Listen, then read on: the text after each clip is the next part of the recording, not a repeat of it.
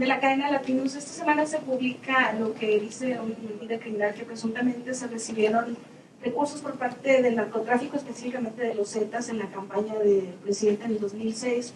Luego entrevistamos al dirigente en ese momento de la campaña y pues nos dicen que eran personas cercanas al presidente quienes recibían los recursos. Número uno, su opinión y número dos, cómo se está buscando blindar este tipo de recursos en la campaña de Claudia Sheinbaum.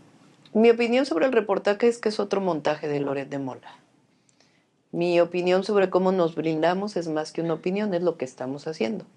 Nosotros cuando sale un candidato, eh, cuando sale la lista de candidatos a participar en las encuestas, preguntamos a la Fiscalía General de la República y a la Secretaría de Seguridad Pública eh, si tienen algún antecedente para evitar que alguno de nuestros candidatos tenga algún vínculo con alguna eh, banda delictiva.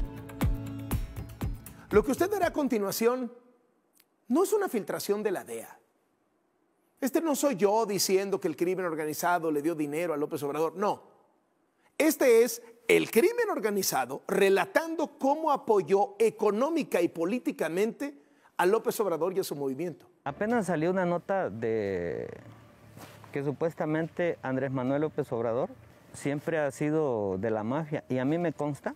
Hace tiempo cuando yo anduve en Michoacán, a la llegada del Z42, llega este, el Z42, me manda a traer a Nueva Italia, ya andaba en pleito con, con Nazario Moreno, alias El Chayo, y, me manda a traer allá en Nueva Italia y me dice que tenía yo que venir a mi región a hacer política por Andrés Manuel López Obrador, porque ellos estaban pagando la campaña presidencial de Andrés Manuel López Obrador por el PRD. Entonces, él dijo que una vez ganando Andrés Manuel López Obrador, era de los Zetas todo el país porque Andrés Manuel se los iba a entregar. Y este y todo un gran este, despliegue informativo, pruebas, no están las pruebas. ¿Y para qué ese montaje? este, de manera eh, ridículo, este, muy encapuchado, pero además eh, que tiene que atravesar sierras, me dicen, ¿no? Para poder llegar a donde está el campamento de eh, este grupo y del jefe del grupo.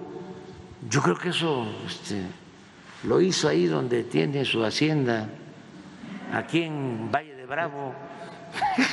debe de tener ahí, de hecho, este, como los, ¿cómo se llaman los sets? Sets, ¿no? De televisión, de ahí de Televisa, cuando decía lo de García Luna y todo.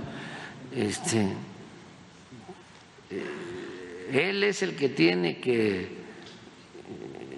dar una explicación cómo es que se hizo tan millonario, tan rico y sus vínculos con García Luna. Eso es lo que tiene que explicar. Pero están muy molestos